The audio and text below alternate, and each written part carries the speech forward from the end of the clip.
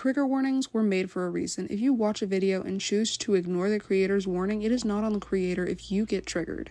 For example, earlier today I posted a video which was very blunt with the trigger warnings. Of course, someone commented very upset that they did not like what they seen.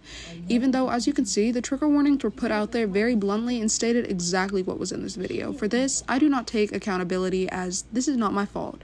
If you are going to be ignorant and watch a video that you know is going to trigger you and that is going to affect you, that is not my fault. That is you putting yourself in danger. I am not forcing you to watch my videos.